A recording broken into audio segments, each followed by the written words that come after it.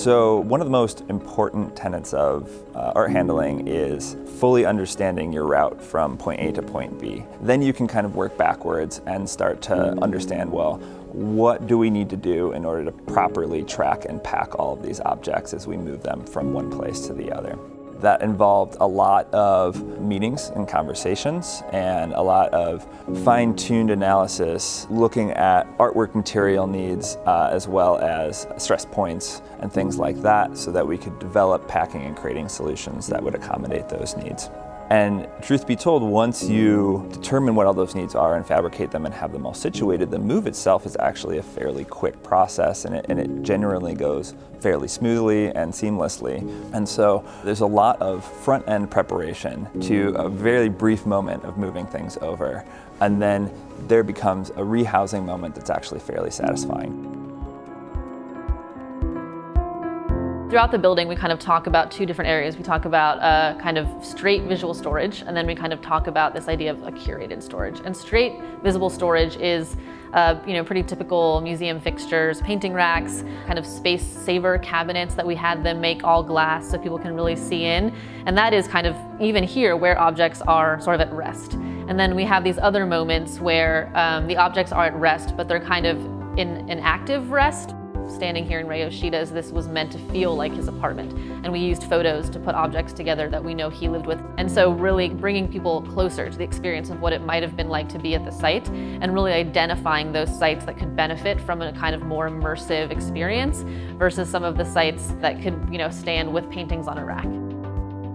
The storage solutions kind of run the gamut here at the Art Preserve. It's everything from very traditional wood casework that you might see in early museums to powder-coated steel vertical storage racks for 2D pieces or, or, taller pieces, lots of flat file storage solutions, uh, lots of cabinetry um, with glass and, and um, sort of open fronts so that everything's visible in those situations. We also have a lot of custom solutions that we've had to develop in order to accommodate the needs of uh, some of the larger or more complex aspects of our collection, things like trays, systems, mounts, just so that we can uh, appropriately house a lot of the work that we have.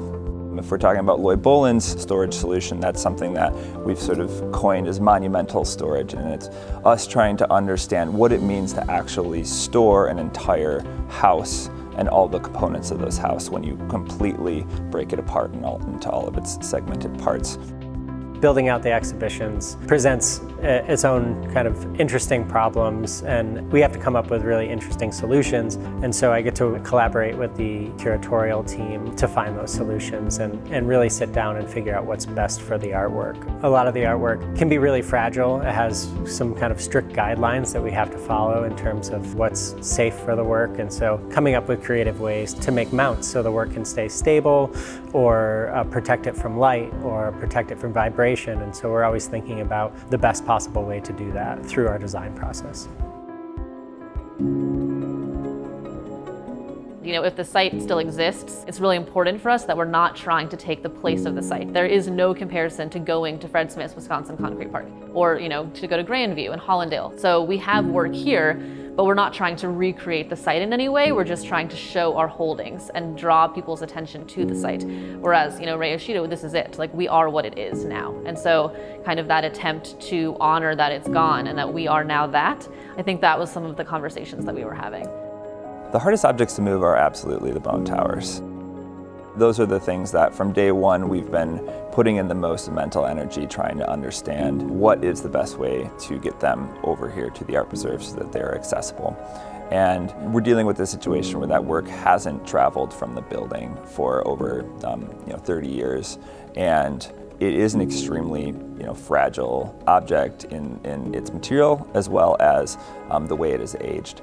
Basically, the only pressure you can put on it is completely even pressure over the whole surface, as well as taking into account the fact that they are, in no uncertain terms, uh, a form of you know, miniature architecture. So understanding how you might want to move something like a building, allowing it to move and sway in some instances, but be rigid in others, is sort of the, the starting point for how we started talking about moving the bone towers.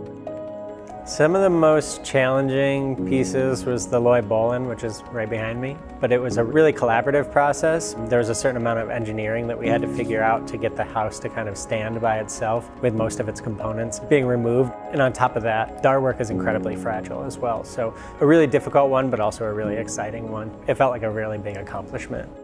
I think the most fun piece that we got to install was just recently the Vollis Simpson whirligig out front. It was kind of one of the first large outdoor installations that we put in. The weather was nice and we were outside, so it was, it was perfect.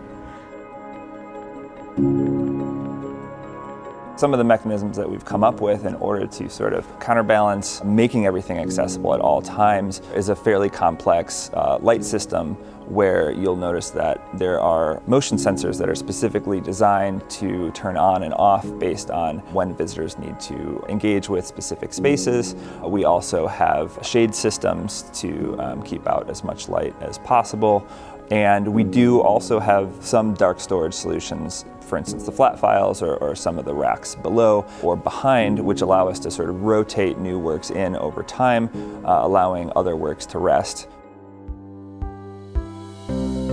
What I learned about the collection during the installation of the Art Preserve is, is really what it's comprised of um, in a really deep and profound way. If we talk about Jesse Howard's wall on the second floor, there's something about seeing all of the, the words that he was trying to communicate through his signs and through his artwork all sort of installed in this 17 foot wall, which is, you know, more or less the way he would work on broadsides uh, on Sorehead Hill in some instances. And so that's the first time where I was able to encounter the work in that way. And there's something I, really appreciated about that installation as it was coming together.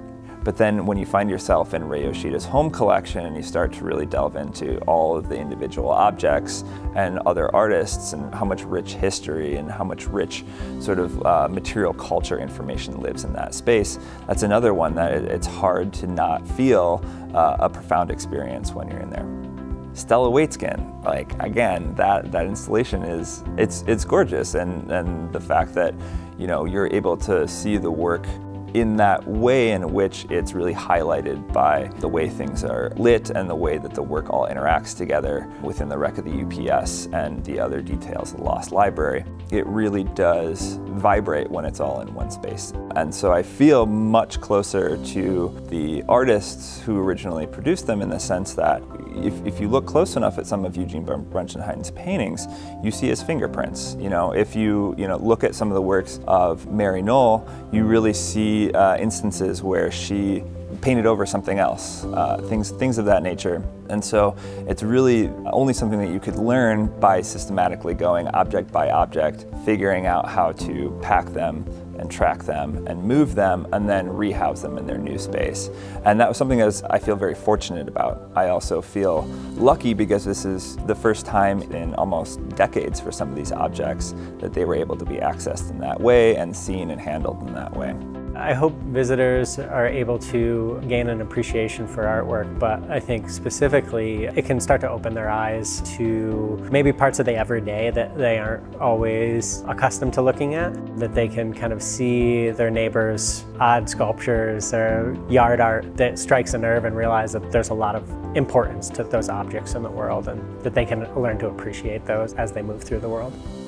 I think my main favorite installation in the museum is the Emery Blagdon installation. It just feels so powerful when you walk in. I feel like I can feel the energy when I walk in there and each piece sculpturally is just beautiful and then thinking about those as a whole, as a group, it just really, uh, it really gets me every time.